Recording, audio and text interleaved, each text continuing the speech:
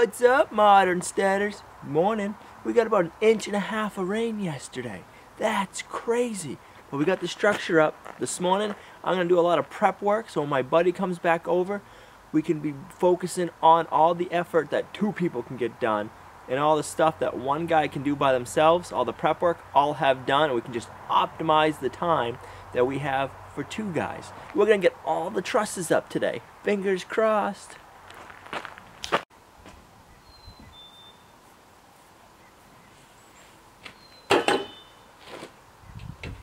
As I'm setting up my tools, I'm trying to keep an eye on my whole work area in the flow. I don't want to set up my chops over, it's going to be in the way for my truck to come in or to pile up other work materials.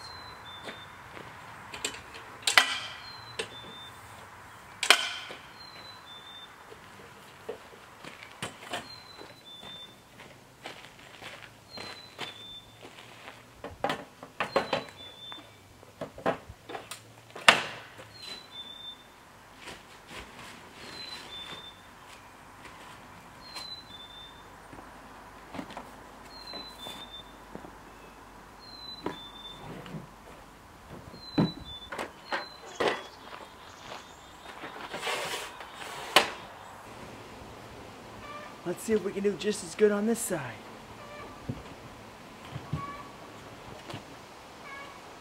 Start straight and straight.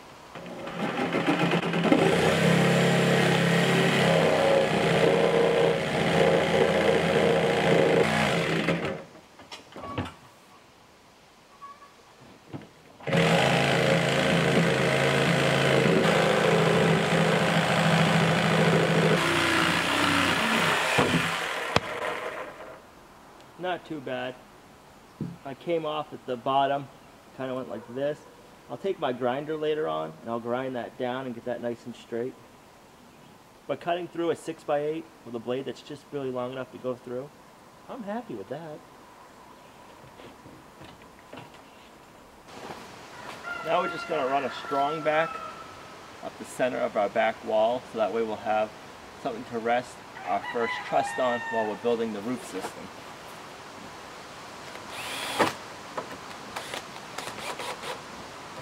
This is just temporary bracing, so it doesn't have to be anything special. This is left over from when we did our concrete slab.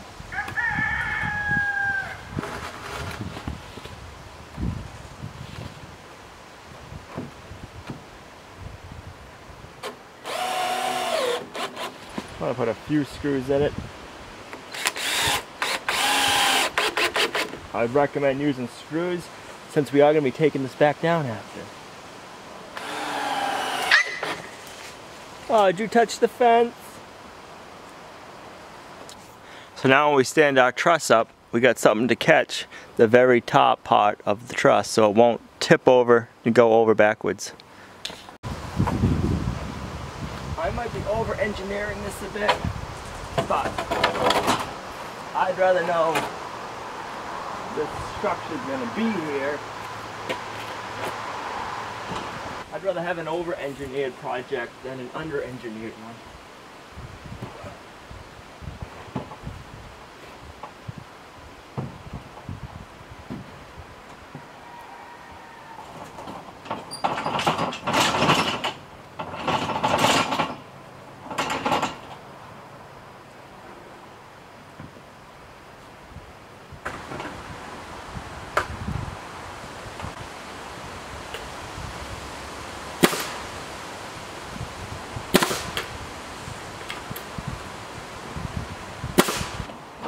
Have help coming to help us set the trusses, but they won't be here for a little while.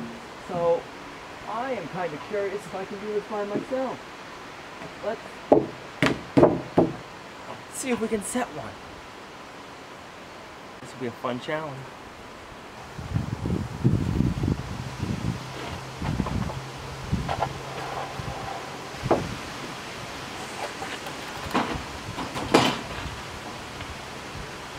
first one's always the fun one.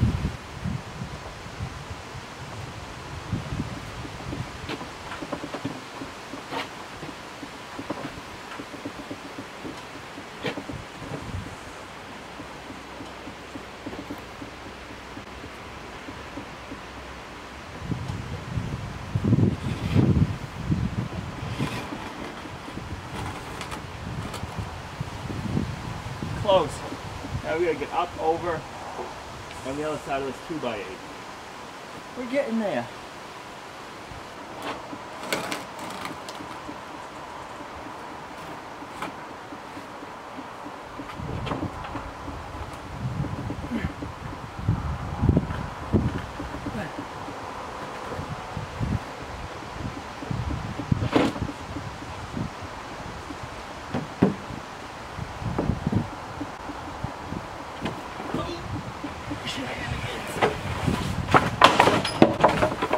Man! That didn't work out, but we didn't get hurt. Alright, I think I got it figured out this time. One more shot.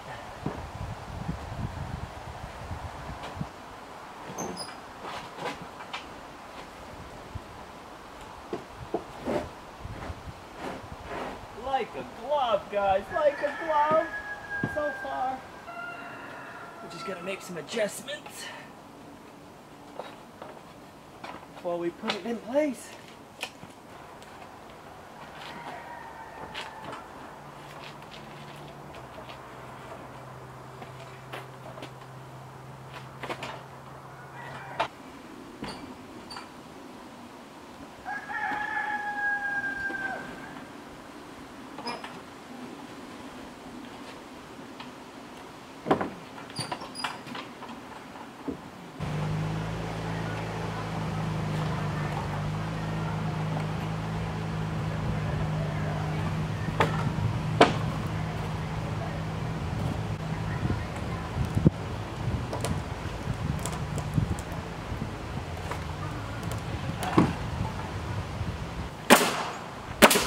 Pluto, right here.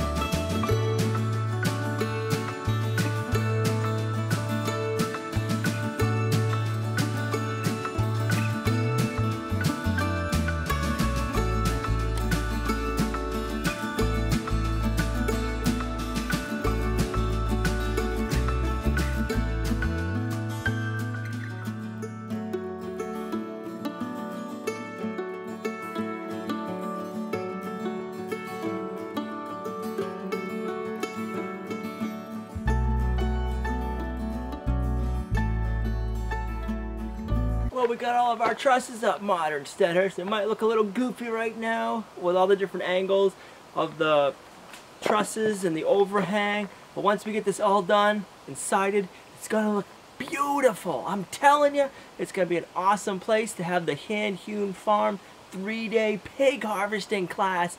So if you guys want to have, have a fun class and have a great place to have it in, come on up to Lumnah Acres. Let's go inside and I'll give you a brief little tour of what we got done. Well, the trusses we had were wider than what we wanted for a concrete slab.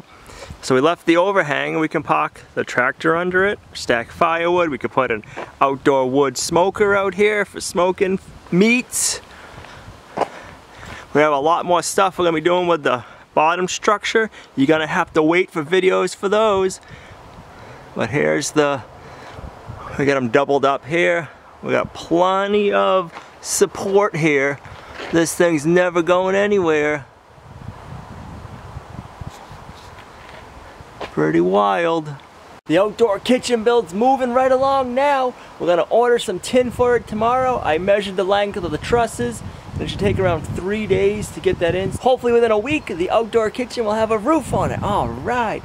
If you guys like today's video, make sure you give it a thumbs up, share it. It's really helping our channel grow, and we thank you for that. And we'll see you right back here tomorrow at Lumnah Acres, a guide to modern homesteading, self-sufficiency, and freedom. Bye.